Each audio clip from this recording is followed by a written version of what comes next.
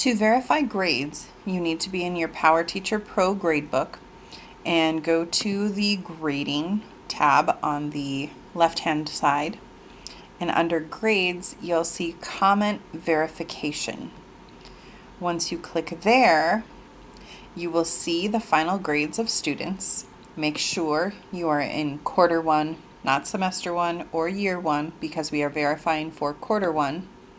And then you just scroll to the bottom where it says final grade status, tick that is it is complete, and save.